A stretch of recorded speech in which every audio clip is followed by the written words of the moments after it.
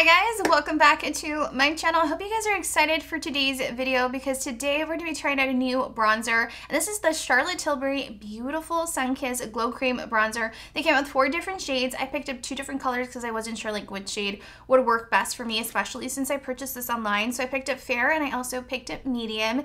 It does run for $56, so I do find it to be like really high end, you guys. So I'm a little nervous. I'm really excited at the same time. And this is supposed to be long wearing, so it's supposed to hold the pigmentation up to 6 16 hours, give us a natural finish, medium coverage, sweat proof. It's also supposed to be cruelty free, which you guys know I love, and it has hyaluronic acid infused in the formula. It's supposed to give us a blurring effect to the skin as well, so I'm really excited to see what this is all about, especially since I have combination oily skin.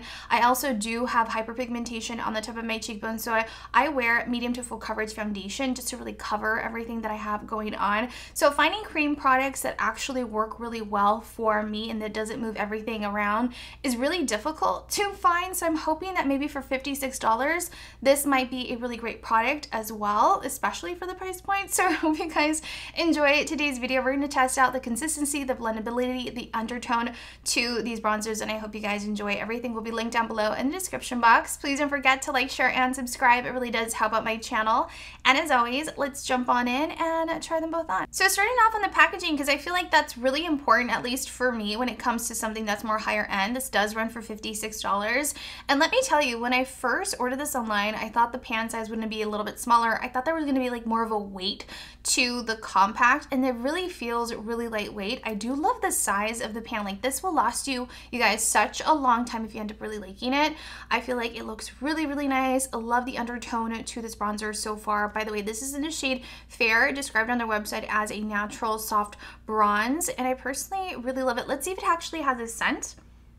And to be honest, I do not pick up a scent whatsoever. It doesn't say on their website if it's fragrance free, but to be honest, I don't pick up a scent to this at all. As for the mirror, I do love the size of the mirror. I feel like this is a really good size. Like you'll have a really good view of how you're doing your makeup when you're on the go. And I personally really like that. It feels really lightweight. Love the packaging, very true to Charlotte, Charlotte Tilbury packaging. And as for the consistency, it feels really, really creamy, you guys. Like once I applied my finger on to the cream bronzer just to do a quick swatch, it glided on effortlessly. It dried down really quickly. It doesn't feel tacky. And I re personally really love like the soft kind of matte finish that it has. I personally really like the undertone to it. I feel like it kind of has like a cool undertone, but at the same time, it has like a warmth to it that I personally really like. And I feel like it might end up really looking really nice on my skin complexion. So I'm really excited to test this out. I'm going to go ahead and pick up my Real Techniques buffing brush I personally like to use this brush to apply on a cream bronzer. So I'm just going to go ahead and pick up a little bit of product. Keep in mind that I'm just going to go ahead and start at the edge of the ear and kind of work my way through like midpoint. I'm going to go ahead and apply on this bronzer really light-handedly because I do not want to move the foundation and everything that I've applied underneath.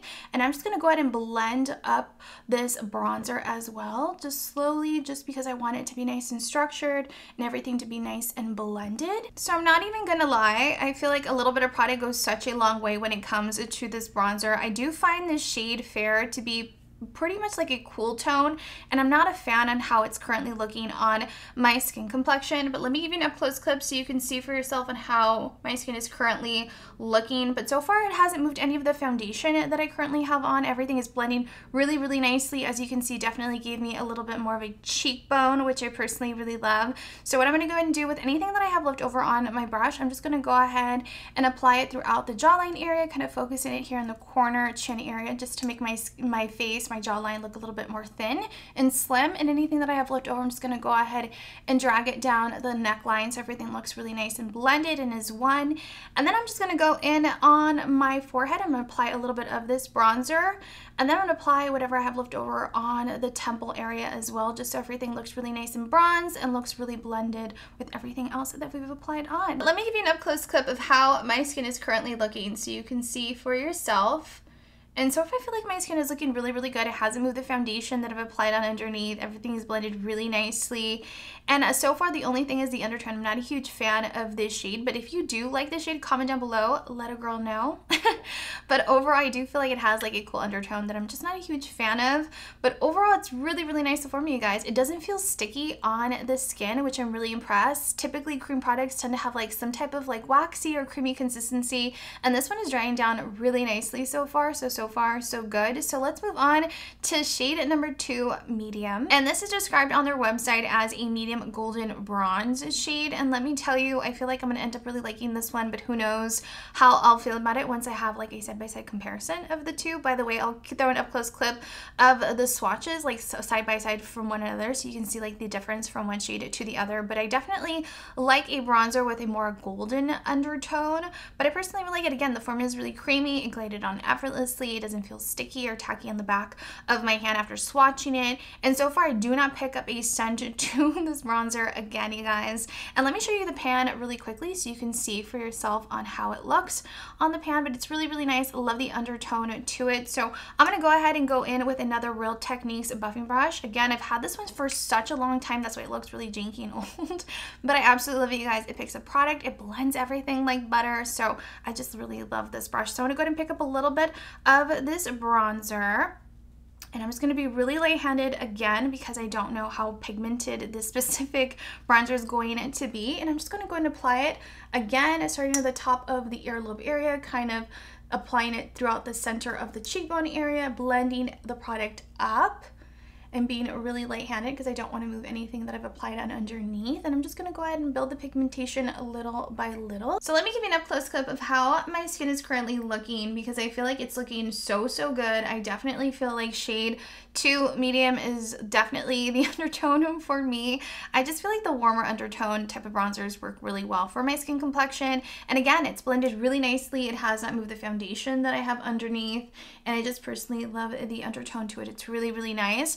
Now I'm going to go ahead and go in with whatever I have left over on my brush. I'm just going to go and apply it on the jawline area, blending it down the neckline as well and focusing in the corner of the chin just because I want it to look a little bit more chiseled just like I did on the other side of my face. And then I'm just going to go in with a little bit of product, pick up a little bit more product, and I'm just going to go and apply it around the temple, forehead area, just building the pigmentation and being really light-handed because I don't want to move anything that I've applied on underneath me. So I just finished bronzing up the left side of my face. Let me give you an up close clip of how my skin is currently looking so you can make your own judgment for yourself. Comment down below what do you guys think so far? Do you guys like shade number one or shade number two? Comment down below, help a girl out. To be honest, I feel like, yeah, warm, warm is the way to go for me. I personally really love it, but overall, everything has blended really nicely. It has not moved the foundation or anything that I've applied on underneath. I love the finish to it. It's really, really nice. It definitely has like a natural kind of matte finish to it that I personally really like. It's really lightweight. I don't feel like I have anything on. I don't feel cakey. And I personally love how easy it was to blend out this product. It's really, really nice. Can't wait to continue testing this out and see what the formula is all about for myself. And I hope you guys enjoyed today's video video. I feel like it was just so easy, you guys. I love the fact that it doesn't have a scent to it. I feel like $56 is pretty high end. I'm not even going to lie. But they do, I think they carry this at Sephora. So, you have any points? If you get a gift card, girl, if there's a sale, I feel like this is definitely worth trying out, especially if you're someone like me who has combination oily skin, you don't have the most perfect looking skin, and you do have hyperpigmentation, and you do have to wear medium to full coverage and has struggled just like me finding cream products that blend really nicely, then I highly suggest you trying this one out. Granted, I'm to continue testing this out, so stay tuned for one of my monthly fave and fails.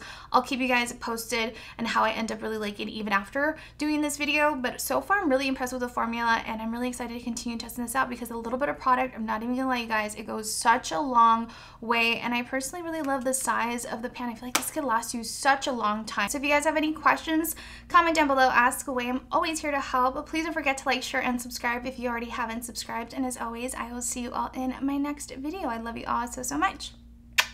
Bye!